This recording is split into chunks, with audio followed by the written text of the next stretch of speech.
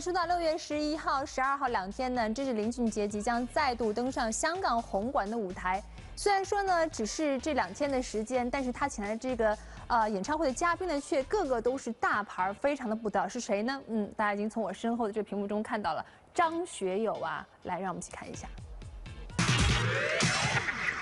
一身蓝色亮片西装登场。自从拿下金曲歌王，这这林俊杰真是越来越有天王的架势了。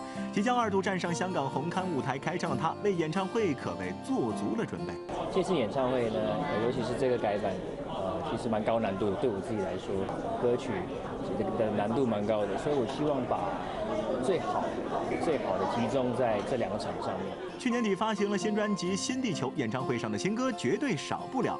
而在嘉宾方面，也有了我们意想不到的新人选。我最想请张学友啊，因为呃，因为他以前一直都是我的偶像，然后呃，上次他帮我签一张专辑，我就已经非常的开心了。搞半天，原来 J J 是来追星的。说起来，不管是有意还是无意出现在 J J 演唱会上的明星嘉宾们，还真是个个很有看点。要不就是天后级师姐蔡依林来砸场。他今天有来吗？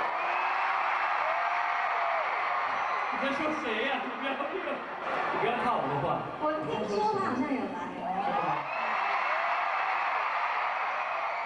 他就是 Hebe。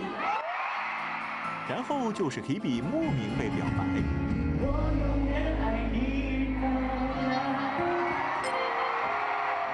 我会继续证明，爱可以克服一切。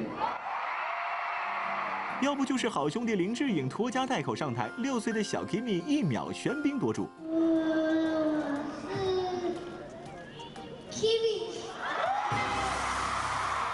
这个周末马上要唱到上海的他，干脆又请来了最近人气飙升的新人王李荣浩助阵。我蛮看好我跟李荣浩这次在上海要合作的所以大家可以来期待一下。不管是天后还是歌神，新人王还是人气王，总之我们的金曲歌王都没在怕的，对自己的实力和人气那叫一个超自信啊！